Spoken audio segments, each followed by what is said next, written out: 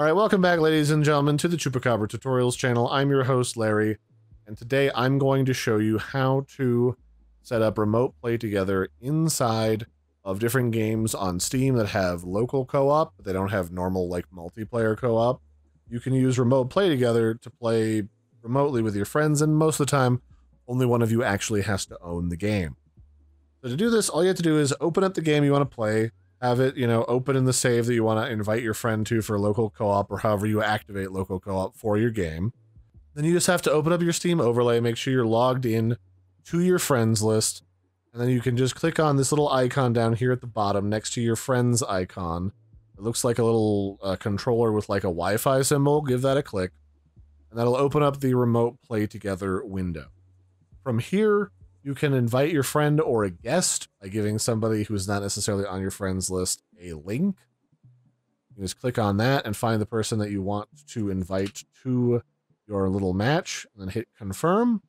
And then once they receive your invite in the little uh, Steam chat here and accept, then you can enable them to have whatever controls you want. So right now, Boneless Goo has got um, a keyboard and a mouse plugged in, so I can click on them.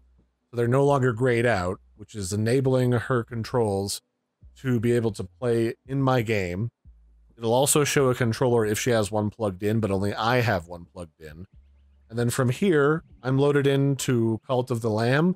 Note that with Cult of the Lamb, for this to work, one of the people playing has to have a controller plugged in.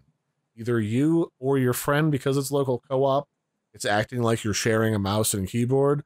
So I plugged in a, a controller, so now I can go to add co op player.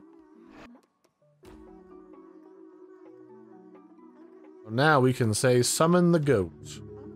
And it will summon her into my game after we've enabled local co-op, and that's it. That's all you have to do.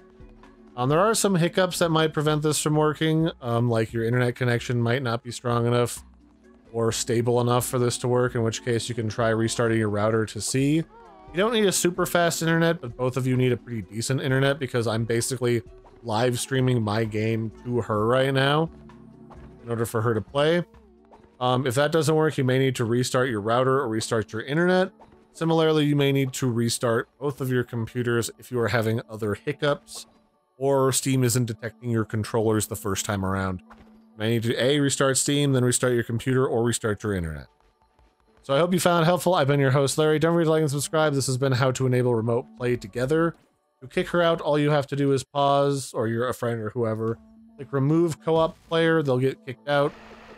Then you can open this up and then you can kick them out of your remote play together session and then close it and you are no longer doing remote play together.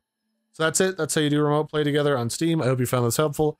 I've been your host, Larry. Don't forget to like and subscribe, and I will catch you next time. Bye, everybody, and have a good one.